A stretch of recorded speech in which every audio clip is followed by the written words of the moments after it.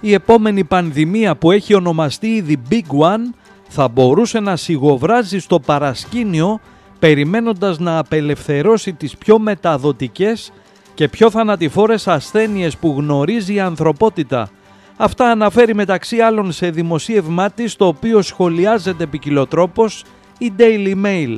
Όπως γράφει η οικογένεια των παραμυξοϊών έχει πάνω από 75 ιούς συμπεριλαμβανομένων της παροτίτιδας, της ηλαράς και των λοιμόξεων της αναπνευστικής οδού και προσθέθηκε στη λίστα των πανδημικών παθογόνων του Εθνικού Ινστιτούτου Αλλεργιών και Λιμωδών Νοσημάτων προς παρακολούθηση τον Οκτώβριο.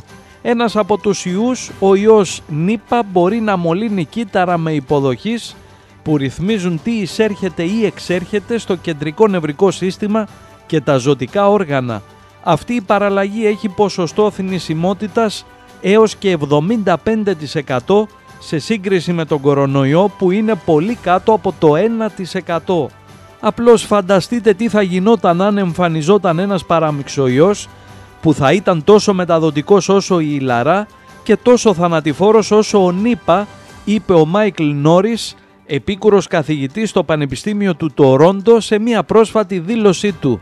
Στο description βρείτε το link για να διαβάσετε όλο το άρθρο της Daily Mail.